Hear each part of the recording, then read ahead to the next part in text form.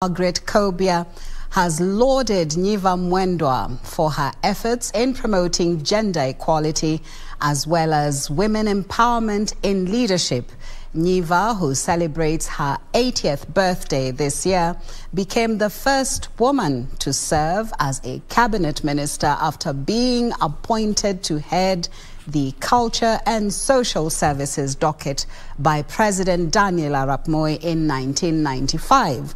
The former Kitui West Member of Parliament becomes the latest recipient of the Trailblazers Award after Grace Onyango, Kenya's first female Member of Parliament, and former Karachuonyo Member of Parliament Phoebe Asiyo were, pres were presented with the award earlier this week.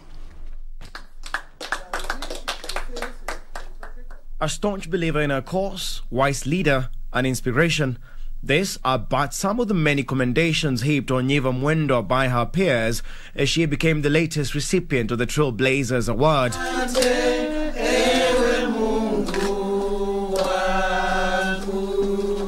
Nyiva, a former Kitui West Member of Parliament, as well as the first woman to serve in government as a cabinet minister, received the award at her Nairobi home in an event attended by, among others, Cabinet Secretary in the Ministry of Gender and Public Service Margaret Kobia and Kitui Governor Charity Ngilu. All these things that you have been teaching us, just continue teaching because we may not teach right. You have them, do it for us. Mm. And I'm so happy to be with you today. And I'm so proud of you.